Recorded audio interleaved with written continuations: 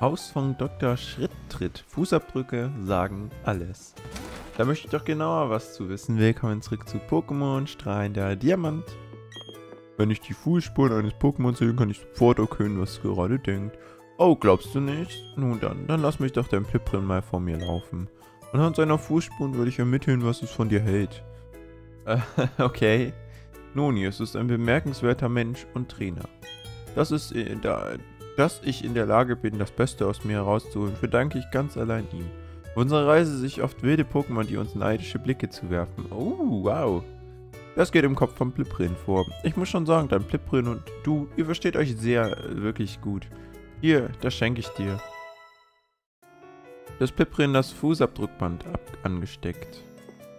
Das erhöht wahrscheinlich die Freundschaft, würde ich jetzt einfach mal vermuten. Okay, Leute, wir sind hier auf Route 213 und sind auch soweit. Es geht schon fast durch damit. Au. Hä? Geht jetzt ab?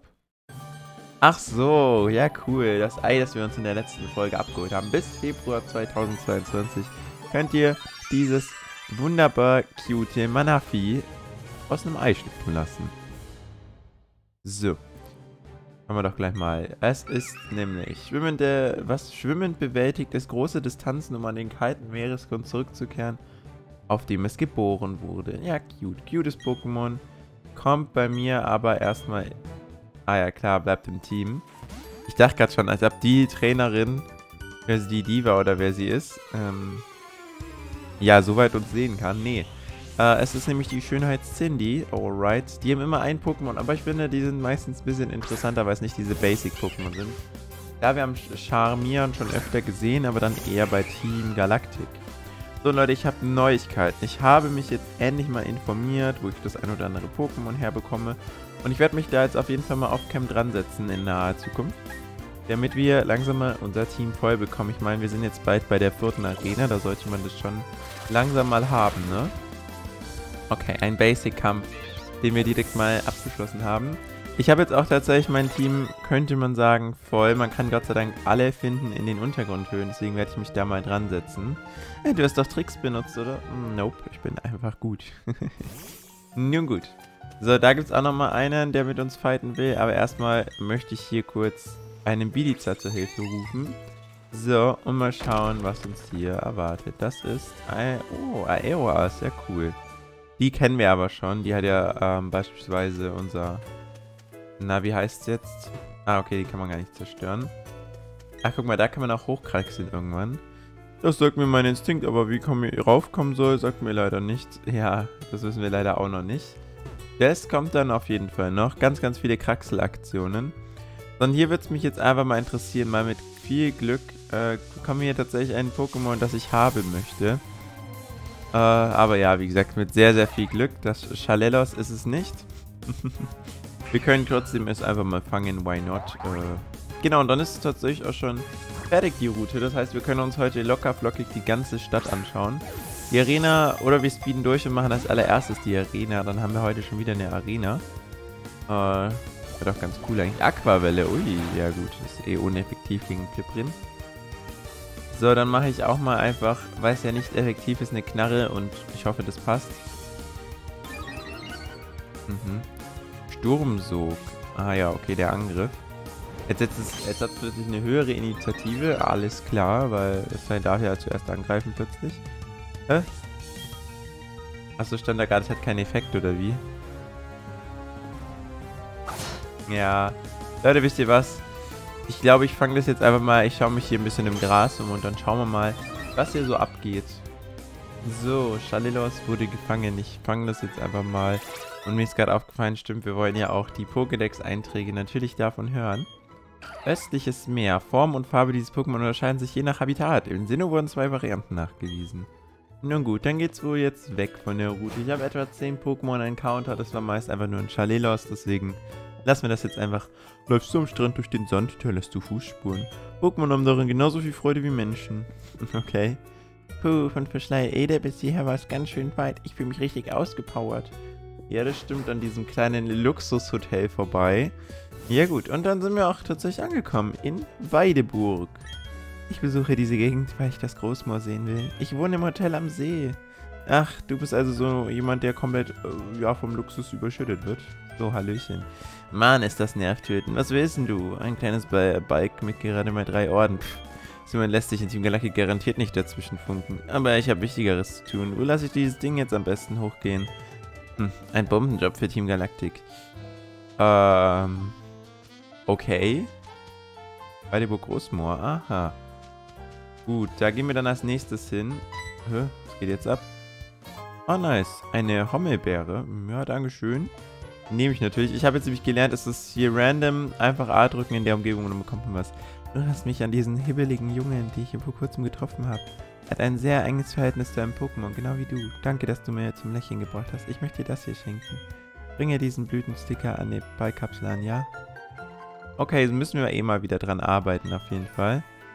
Ja, ja, okay, okay, okay. Wahrscheinlich redet sie von, ähm, unserem Rivalen. Den haben wir auch schon lange nicht mehr gesehen und deswegen hoffe ich mal, ja, bald kommt es mal wieder zu einer Begegnung. Hallo, ich möchte dir ein Pokémon, dein Pokémon ansehen. Vielleicht ist es ja ein Schal würdig. Hm, ja, verstehe. Das ist nicht ganz das, was ich mir erhofft habe. Ich möchte dir nicht anlügen, daher sage ich dir offen ins Gesicht. Dieses Pokémon ist nicht schlecht, aber gut ist es auch nicht. Es ist einfach so lala. Wenn du deine Ausstrahlung verbessern willst, dann gib ihm ein paar Knupse. okay. Dann muss ich mal wieder backen ein paar. Die Freundin meines Bruders ist Wellnessfrau an Schleide. Die beiden haben ihr Pokémon dabei, wenn sie etwas unternehmen. Wie schön. Das stimmt, das finde ich auch mega. Okay, und dann gucken wir mal, was Weideburg noch so zu bieten hat. Ich denke mal, dass es hier keine Arena geben wird, oder? Oh, okay, doch. Ja, krass, dann. Heißt es heute natürlich auch noch Arena-Kampf, ist ja logisch. Äh, ja, interessant. Ja, okay, dann machen wir das gleich mal heute. Im Großmal gelangt man per Eibahn im Nu von A nach B. So wird auch der empfindlichste Ökosystem nicht gestört. So, so, mit der Eisenbahn, da bin ich ja mal gespannt, wo die sein soll. Achso, die Stadt ist jetzt doch größer als gedacht. Weideburg, die Stadt am Großmoor. Hm, wir sollten uns aber erstmal Stückchen für Stückchen alles nach der Reihe anschauen. Als erstes mal Pokémon Arena von Weideburg. Arenatin Well Wellenbrecher Marinus. Meister der Flut. Ah, also ein Wassertrainer. Weideburgs Arenaleiter, was soll ich sagen? Er ist grandios. Äh, wenn auch auf seine seltsame Art. Er ist schwer zu erklären, aber wenn du gegen ihn antrittst, wirst du sehen, was ich meine. Okay, das heißt, Luxtra wird uns sehr gelegen kommen. Manche Trainer verhindern bewusst, dass sich ein Pokémon entwickelt. Sie warten damit bis auf Levelaufstieg bestimmte Attacken erlernt hat. Ah, das ist eigentlich gar nicht mal so blöd, aber ich liebe Entwicklungen immer gleich, deswegen nehme ich die auch immer gleich. Das größte Moor von Weideburg war einst ein Teil des Meeres, doch das Meerwasser versickerte irgendwann im Boden und zurück blieb dieses riesige Sumpfland. Deshalb soll auch Pokémon geben, die äußerst selten zu finden sind. Aha, aha, da wäre ich gleich mal hellhörig. Das Großmoor ist wirklich riesig. Wie riesig fragst du, geh zur Pokémon-Warte und sieh dir an, dann weißt du Bescheid. Machen wir auf jeden Fall noch. Guten Tag, äh, ja, soll ich sie mal wieder fit machen? Genau. Mach sie bitte fit, denn wir, ja, sind jetzt auf dem Weg zu der Arena anscheinend. Mit unserer krassen äh, Pokémon Reihe hier. So. Nun gut, und dann schauen wir mal, was da so abgeht in der Arena. Wie gesagt, ich werde jetzt mich mal dran setzen. Ich habe Ideen für neue Pokémon-Teammitglieder. Äh, ich möchte nur mal kurz gucken, wie groß ist denn diese Stadt noch? Hm, okay. Ja gut, äh, ich denke mal, diesen unteren Teil, den werden wir uns einfach mal nach der Arena anschauen. Und jetzt, äh, was hält uns ab davon, gleich in die Arena reinzugehen? Ich habe Bock.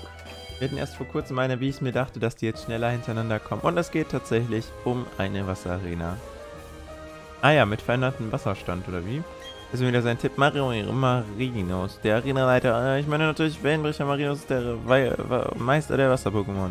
Ich finde ja, dass du enorm mutig bist, wenn du versuchst, Wasser-Pokémon mit Feuer- oder Boden-Pokémon zu bekämpfen. Aber letztendlich ist das natürlich deine Entscheidung. Dann liefern wir uns mal einen guten Kampf. Nee, also was ich jetzt als erstes mal ob sie machen möchte, ist ähm, Fliprin mit Luxtra zu bewegen. Dann sollte er eigentlich auch nicht schlecht sein. Pflanze ist doch auch gut. Ja klar doch. Pokémon bewegen. So. Ja, Pflanze ist ja gut gegen Wasser. Genau. Jetzt war ich kurz verwirrt, aber passt. Okay, hier kommt man erstmal nicht hin. Okay, das heißt, man muss irgendwie den Wasserstand verändern. Vermutlich ist es hier wieder so. Und es ist cool, dass wieder jede Arena ihr eigenes Ding hat. So. Aha, ich kann jetzt erstmal nur hier. Ganz, ganz viele Knöpfe. Wieder mal ein Rätsel, alles klar. So, jetzt komme ich da durch. Alright, aber erstmal mit dir. Ich habe hier nicht nur meinen Körper gestellt, sondern auch meine Pokémon und meinen Geist. Ich habe zwei Pokémon, die ultra effektiv gegen dich sind, aber schaut mal, jetzt hat mir endlich mal dieser, dieser Kommentator nicht alles verraten, ne? Das finde ich ja schon mal etwas gut.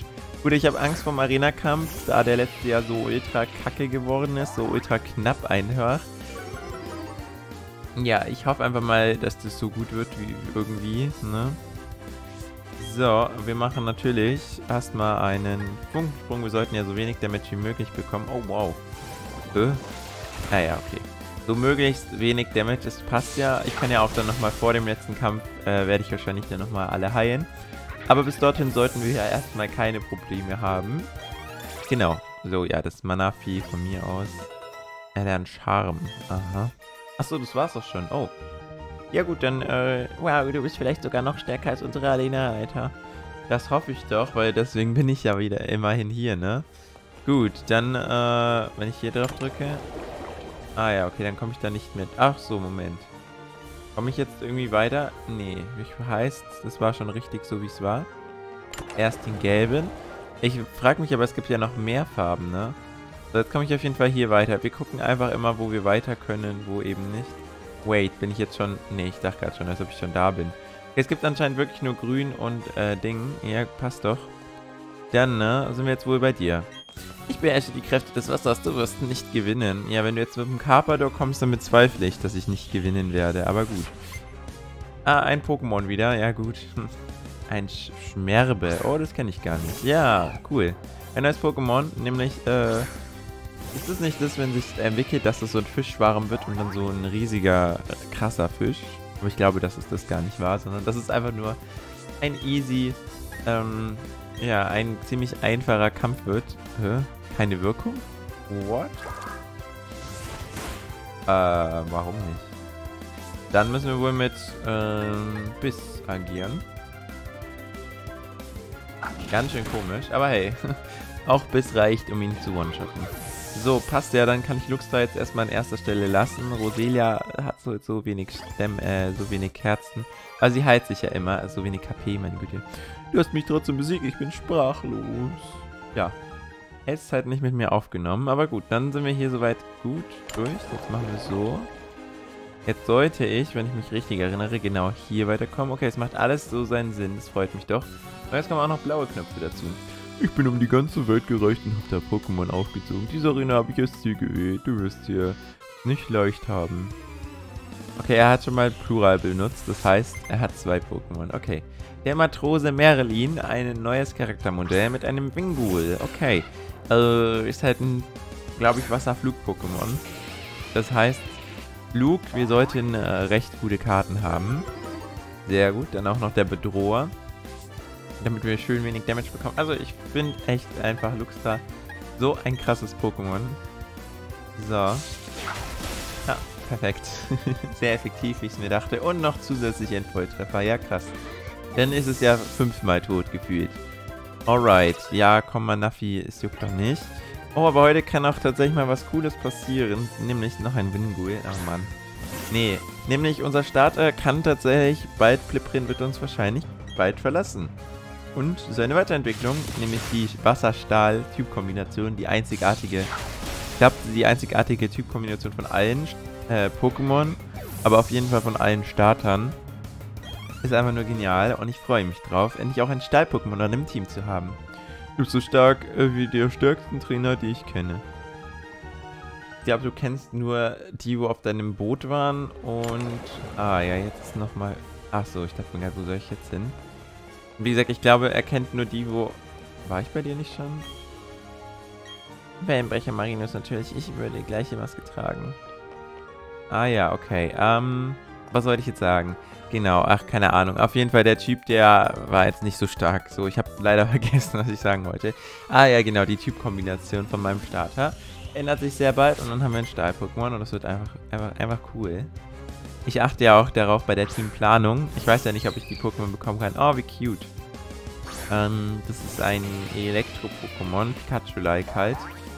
Auf jeden Fall, genau, weil und Stahl habe ich halt noch so gar nicht eingeplant und das passt halt dann, dass wir das dazu bekommen. So. Aber jetzt erstmal einen kleinen Funkensprung again. So, reicht es? Ah ja, tatsächlich, weil Azuril, Azuril, keine Ahnung, wie man das ausspricht, äh, ist ja auf jeden Fall, ja, ist ja auf jeden Fall ein Elektro-Pokémon, genauso wie auch das hier, glaube ich. Ist das nicht einfach die Weiterentwicklung? Ja, genau. Ist halt Pikachu-like, wie gesagt. Äh, und deswegen nehme ich mal lieber noch einen Funkensprung. Dann haben wir das doch schon, oder? Perfekto. Alright. Ähm, wir werden uns hoffentlich im nächsten Part dann äh, spätestens das vierte Teammitglied holen. Ich hab's noch nicht, aber ich weiß, wo man es fangen kann und da waren wir schon und keine Ahnung, wie ich es übersehen habe. Aber wir haben sie auf jeden Fall besiegt und ich denke mal, wir sind so langsam durch, was das angeht, oder? Na, erstmal noch ein Angler, okay. Guten Tag. Der nächste Gegner bin ich, der Trainer, der weltweit den meisten Pokémon... Nein. Nee, nee, nee, nee, nee, nee. Keine sechs Carpadore. Ah, okay, ja, drei nur. Dann, dann stimmt's gar nicht, weil ich habe schon gegen fünf Carpadore gekämpft. ah, ich hoffe, er meint damit äh, die meisten unterschiedlichen Pokémon. Aber eigentlich in der Arena hatten wir das jetzt bis jetzt, glaube ich, noch gar nicht. Doch in der Gesteins, also in der ersten, hatten wir schon des Öfteren denselben Gegner, also auch in einem Fight. So, ich denke, mein Donnerstock wird da ausreichen. Bei einem Goldini, bitte. Ja, perfekt. Weil dann kann ich ein bisschen sparen, ein bisschen die Attacken. Ich meine, wir brauchen eh nicht so viele, schätze ich mal. Aber trotzdem, lieber, lieber sparen wir, ne? Das und Luxra ist jetzt einfach schon Level 36, fast Level 37. Würde auf jeden Fall noch. Und Schmerb ist doch jetzt der andere Fuchs. Genau, Fuchs. Nee, der andere Fisch. Ich dachte mir gerade mit F, aber es ist auch kein Vogel. So, jetzt wissen wir, dass das wirkungslos ist. Das ist eigentlich eine krasse Typkombination, weil es ist zwar Wasser und noch irgendwas, was es halt komplett resistent gegen, äh, gegen, äh, ja, Elektro macht. Das ist krass eigentlich. So, Level 37. Ja, wie cool.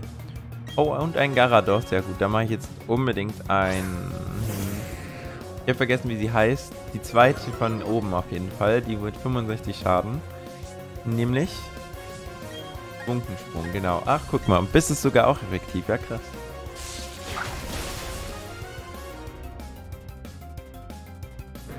Damit haben wir erneut einen sehr einfachen Kampf ähm, vollstritten. Aber wir dürfen natürlich nicht unterschätzen, dass er nach der Arena-Kampf kommt.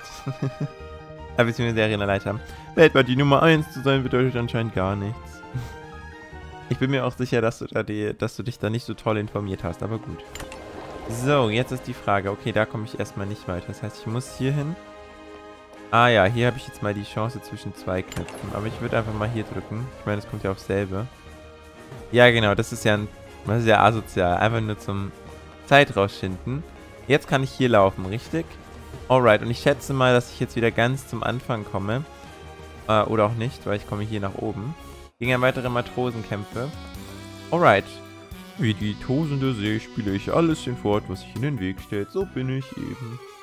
Ich bin mir mittlerweile gar nicht mehr sicher, ob wir schon fünfmal im Kreis laufen oder die Arena einfach so krass verwinkelt ist mit diesen drei verschiedenen Wasserständen.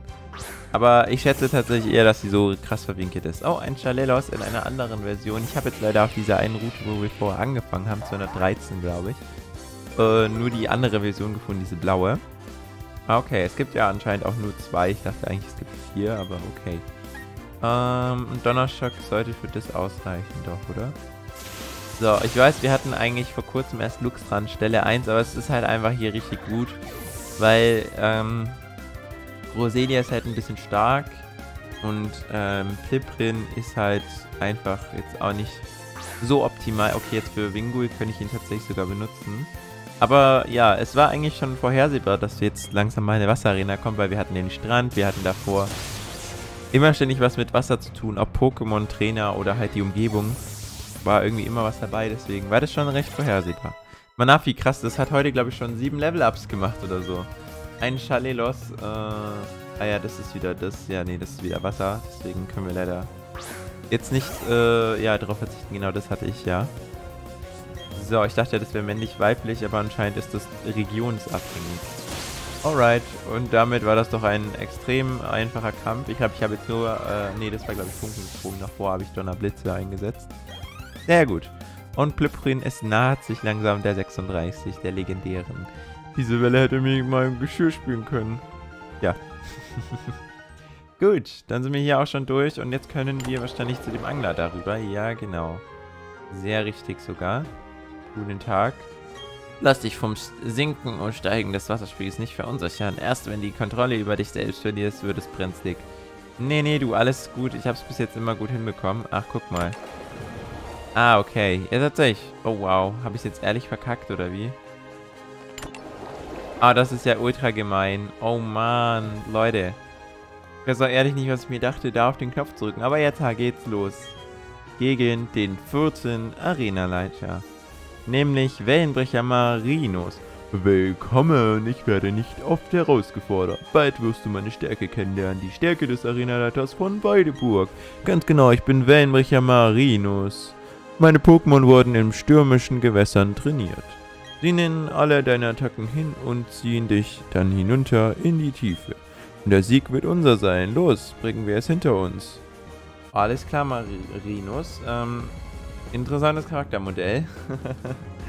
so, da ist er. Der vierte Arenaleiter mit drei Pokémon. Okay, dann sollten wir es ja hinbekommen. Wir haben ja... Ja, eigentlich im Prinzip auch drei. Die anderen sind ja Filler, damit ich nicht K.O. gehe, so wie beim letzten Mal. In der Arena fast zumindest. Eieiei. Wer es verfasst hat, gerne nachschauen. Ich glaube, das ist der vorletzte Part gewesen. Das war ultra hardcore. Doch wer sagt denn, dass das hier nicht genauso sein wird? Nun gut, ich bin gespannt. Ähm, wir machen erstmal... Wir gehen jetzt hier mal auf Nummer sicher, wir können es noch 13 Mal einsetzen, deswegen mache ich gleich mal einen Funkensprung am Anfang, um das erste Garados gleich mal wegzuballern. Okay. Also ich meine, ich habe zwei Pokémon, die sehr effektiv gegen äh, Wasser sind. Okay. Äh, deswegen, wie gesagt, habe ich, glaube ich, nicht so die Bange, dass das jetzt irgendwie schief gehen wird.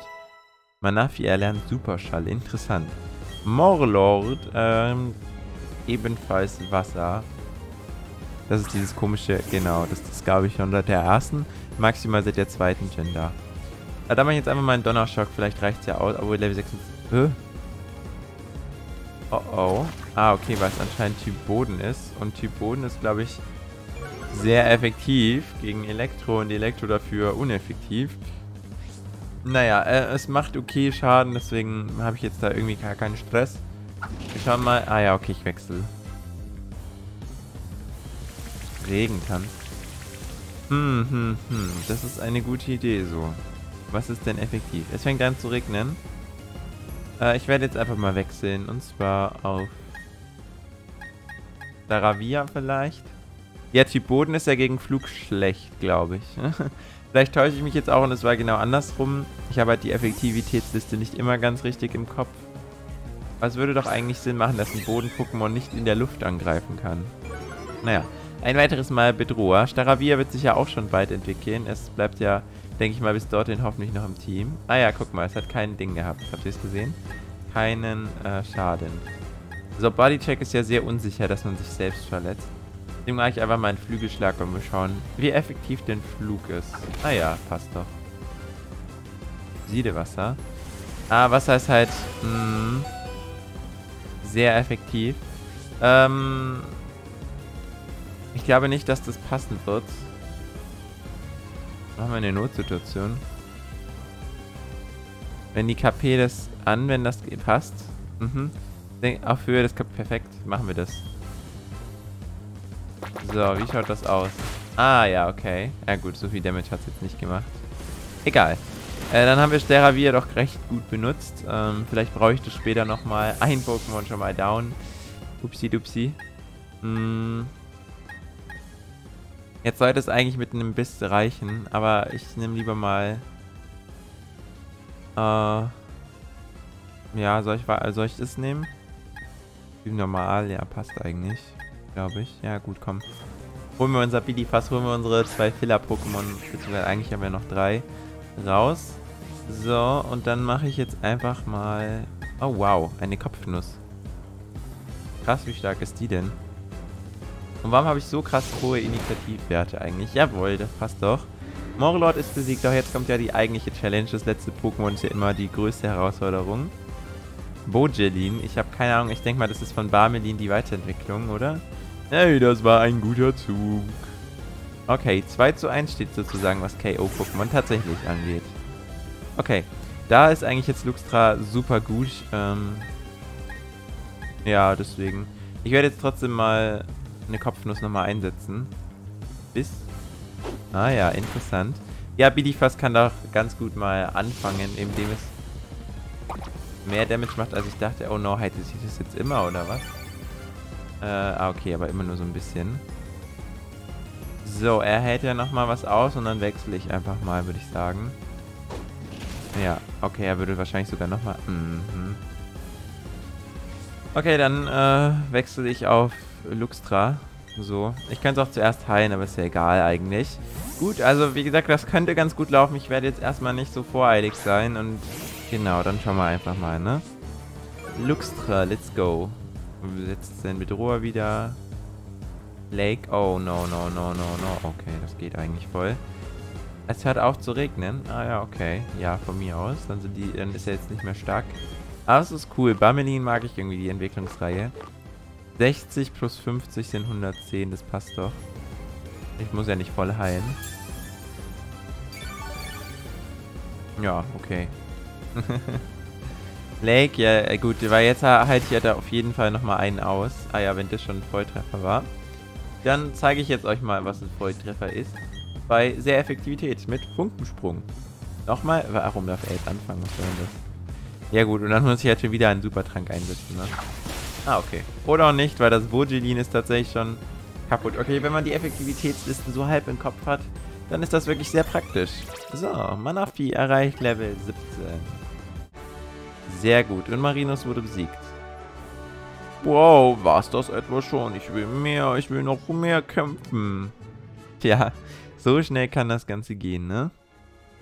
Die Strömung muss mich nach unten gezogen haben, aber der Kampf mit dir hat mir sehr viel Spaß gemacht. Hier, das hast du dir verdient. Jawohl, die Hälfte ist also geschafft bis zu unserem äh, Top 4 Kampf. Du erhältst den, Champ, den Fernorden von Marinus. Den Fernorden ermöglicht es dir, die VM-Attacke auflockern über dein Po-Catch zu verwenden. Hier ist die besondere Belohnung. Du und deine Pokémon haben dieses Zeichen meiner Anerkennung wirklich verdient. Sticker, ja cool. Also ich muss mich da jetzt wirklich mal dran setzen, die Sticker zu benutzen und auch eine neue TM, alles klar.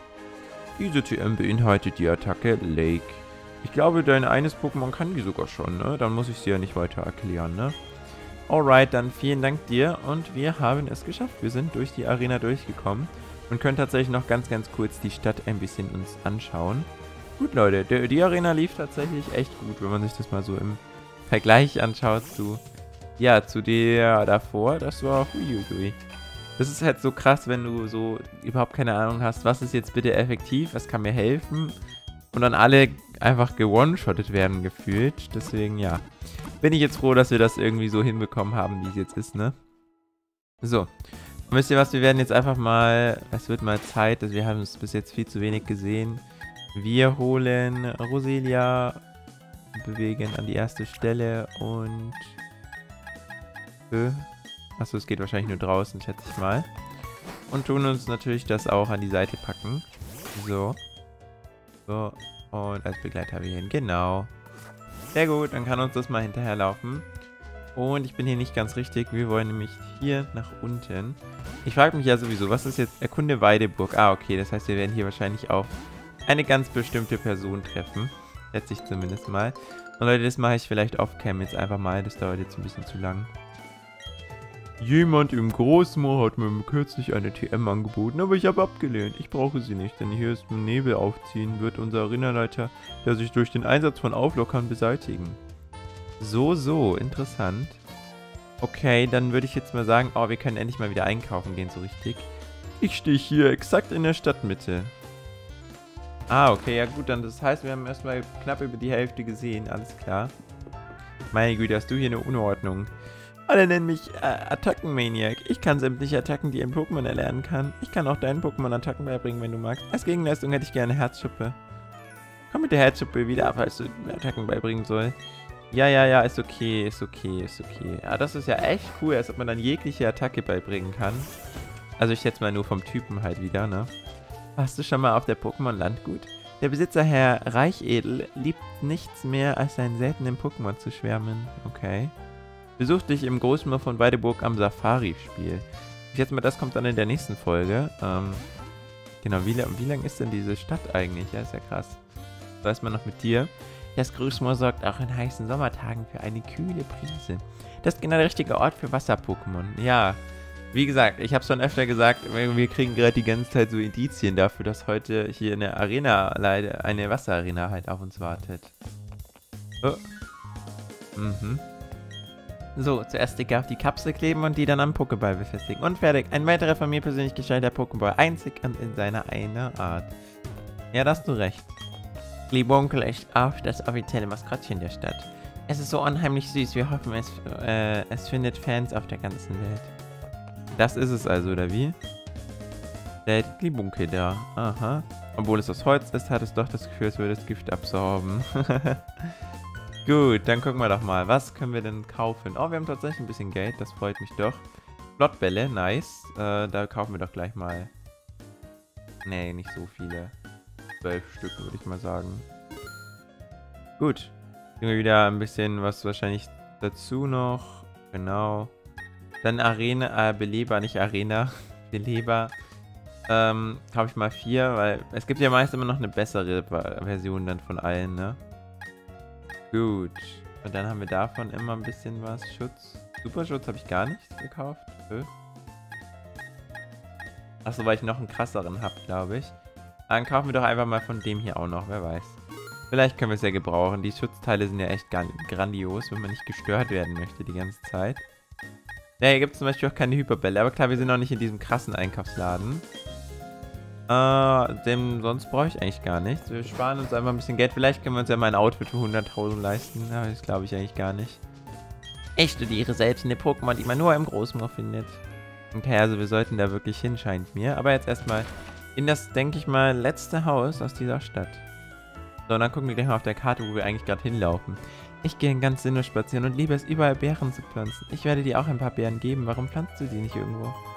Barbiri-Beere. Ja, kein Wunder. Äh, keine Sorge, ich pflanze sie auch überall. Meine Schwester sammelt täglich Beeren, also komm doch bitte bald vorbei. Wir kochen ähm, auch mit Beeren und mischen sie. Das ist so lecker. Ja, da hast du recht. Und das kann ich mir richtig gut vorstellen, zumindest. Gut, dann geht's hier noch nach unten. Aber irgendwie, keine Ahnung, hier gibt so viele Random-Plätze.